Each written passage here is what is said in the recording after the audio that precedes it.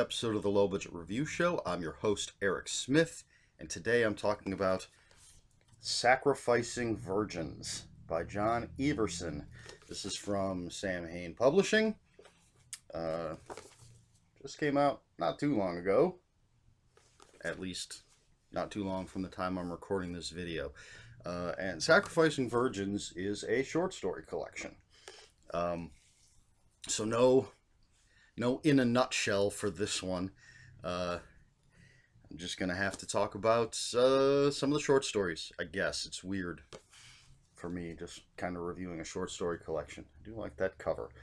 Uh, so John Everson uh, is a Bram Stoker Award winner, and uh, I've read most of his novels, and uh, quite a few of his short stories. Some of the stories in here I have read before uh, in the places where they were originally published.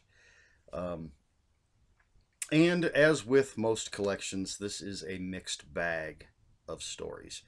Uh, they range from incredibly short to not quite novella length. I don't think. I don't think anything's really that long. Um, there are stories that are funny, stories that are um, uh, violently graphic, stories that are sexually graphic, stories that are very sad. Um, again, a mixed bag of all sorts of things. Uh, there, there's one story in particular called "The Eyes" that um, interesting. I just happened to be doing that when I said "The Eyes."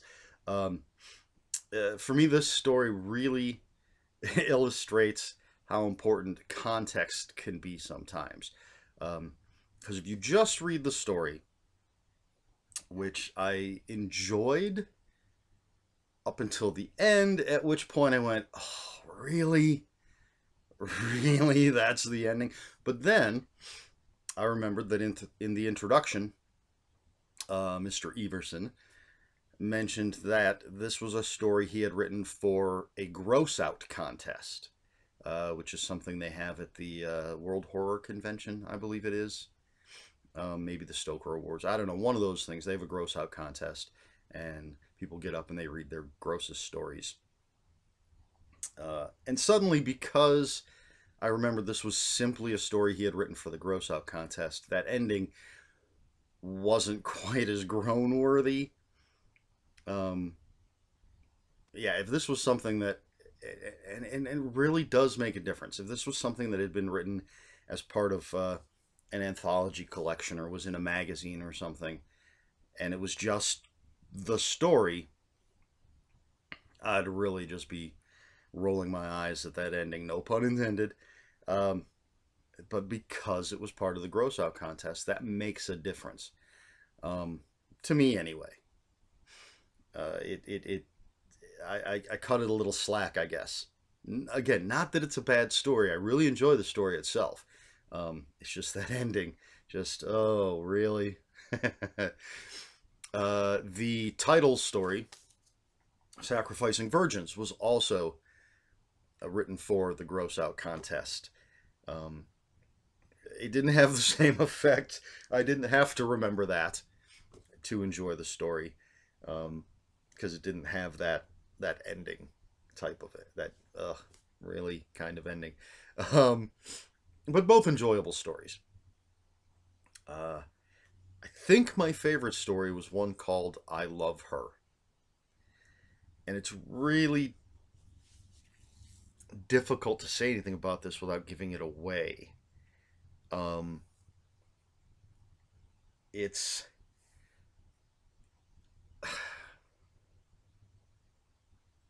It's about a guy that loves something. And wow, how do I I think you really need to read this one to get the, the full impact of the story. Um, I, I, you know, does it say anything the back? I don't know. Um, hard to describe hard to describe without really giving away what it is and and especially with short stories it's a little more it's it's easier to talk about a novella or a novel because there's so much material you can talk about little bits without giving it away. But with a short story, every little thing is so important that to talk about it can give away. It's it's it's about a guy that loves something as if it were a woman and the relationship that they have and where that leads.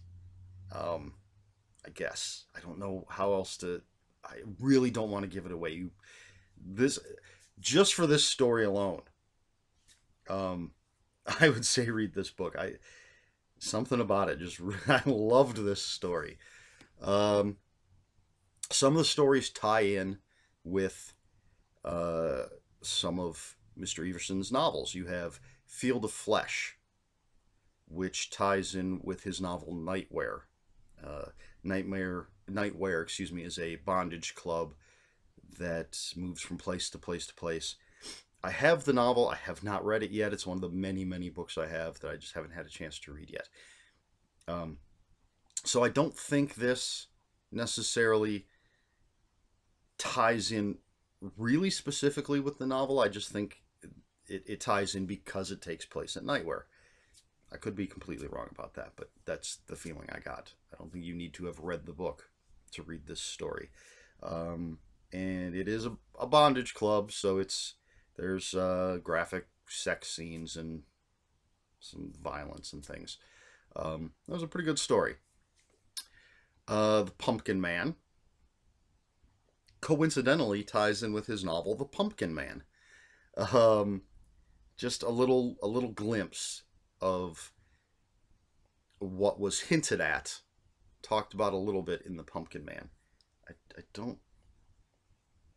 Yeah, yeah. It's just uh, you know, if if you read the novel The Pumpkin Man, I'm gonna obviously say The Pumpkin Man a lot, uh, but if you read that novel, you learn the history of the Pumpkin Man, but the story, the main story, takes place after the events of the life of the Pumpkin Man. This story takes place during the life of the Pumpkin Man.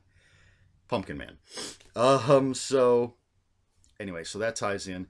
Then there's um a story that I'm not going to say the title to because I don't want to mispronounce the character's name, uh, but it ties in with his novel Siren um, which is about uh, the mythical, a mythical siren. Um, you know, the, the women, possibly mermaids, that lure men to their deaths with their siren song. Um, so this short story features the siren from the novel Siren. Uh, so it's just a little snippet from her life, I guess. Um, so I think those are the three that tie in with his novels. Um, let's see. I'm looking. I wrote down some of the titles here.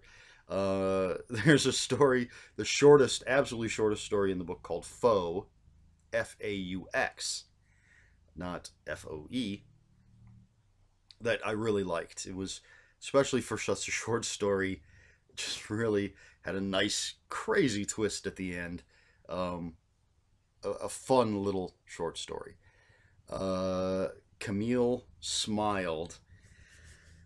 This is going to be a big spoiler, um, and I don't know any way around it without. I don't know any way around spoiling it if I want to get across my feelings on this story. Uh, essentially, Camille Smiled is Pet Sematary.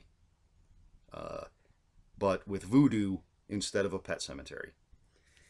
Uh, but it's really, if you take, what is it, the second half of Pet Sematary? Hmm, not sure exactly how the book divides, um, but it's that. That's what this story is.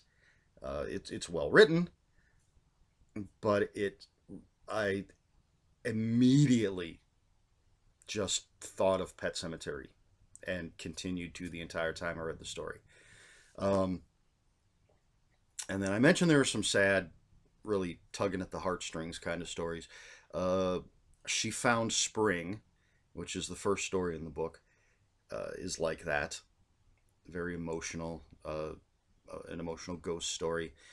The Hole to China is really uh, kind of a sad story with um, just a, a young boy who has a bad home life and wants to literally dig a hole to China to get away from it.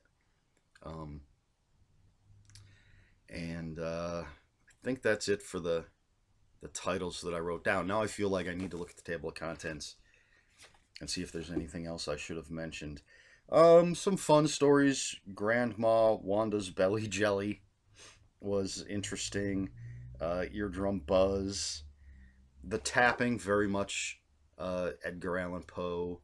Um, sitting around a campfire kind of story. Uh, Star on the Beach, meh. Um, Fish Bait was fun. Green Apples, Red Nails was pretty good. Um, as I mean, I could just read all the titles off to you and tell you what I thought of each story in a nutshell. Hey, there's that in a nutshell thing. Um, but essentially, it's it's like any, as I said, like any short story collection, it's a mixed bag. Really enjoyed some of the stories. I felt some of the stories fell kind of flat. Um, loved, loved, love, loved, loved, loved. I love her. What I'm trying to say is I loved that story. Um, there is quite a bit of sex in a lot of these stories, uh, but not all of them. Uh, I guess uh, Mr. Everson is making a name for himself as an erotic horror writer. Um, a writer of erotic horror. I don't want to imply that he himself is erotic. I don't know. Um, he may be. I, I don't know. I was going to say I've never met the guy, but I actually have met him. Um, nice guy. But, uh, um, so my rating for this is three and a half out of five pumpkins. Um, simply because uh, it's really tough, I think, for every story in a collection, whether it's it's a collection of stories from the same author or an anthology that's that has a theme and a bunch of different authors. It's really tough for every single story to just blow you away. Um, I'm not saying it's impossible. I'm saying it's tough, at least for me.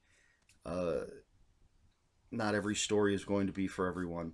So, um, I, I wasn't blown away by this collection, which is why it gets three and a half out of five. Um, some really great stuff, some stuff that didn't work for me. Uh, and so I mean, I, I, he does for for short stories. The the the characters, for the most part, are pretty well developed. Most of the stories flow pretty smoothly. Um, the um, I did have a problem with what is a star on the beach, um, and maybe it's just something that would bug me. But the the opening scene has the main character finding this shell star thing and he's gonna just throw it into the ocean and this kid stops him and then we go back to when he met this kid and it seems to me i mean maybe i'm reading this completely wrong but it seems to me we get a rehash of that first scene, except it's completely different. That first scene seemed to be the point where this the main character found this shell star thing. He's going to get rid of it. The kid stops him. And then we go back to we know for a fact this is when he found it. But again, it's it's just a completely different scene and it's not like he just didn't retell what we've already been told. The whole scene is different. The interaction is completely different. So again, maybe I'm wrong and this happened twice, but it, that's the kind of I, maybe I'm too picky. That's the kind of thing that bugs me when when elements of the story don't actually mesh. Um, so that's that's one of the reasons this isn't a higher rating. Just little things like that. For the most part, well written stories, good characters, interesting. Um, quite a few things with bugs, which are always fun. I love bugs and horror stories. Um,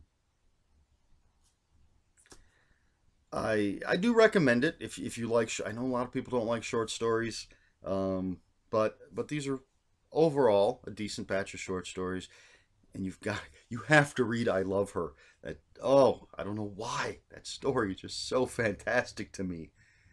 Maybe it says something about me, um, but I loved it. I I loved it. I loved I Love Her. Um, and you know the eyes again and sacrificing virgins fun gross out stories.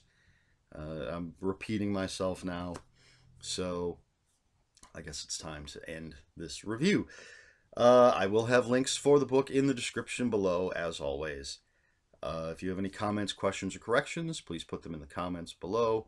Comments are open for spoilers just post a spoiler warning so if you want to know what the deal is with i love her just ask me in the comments, and I'll uh, I'll post a big old spoiler warning, and then I'll tell you, and then you can tell me I'm crazy for liking the story so much. Um, uh, so please like, share, and subscribe, uh, and that's it for my review of Sacrificing Virgins. This has been the Low Budget Review Show. I have been Erik Smith, and until next time, read more books.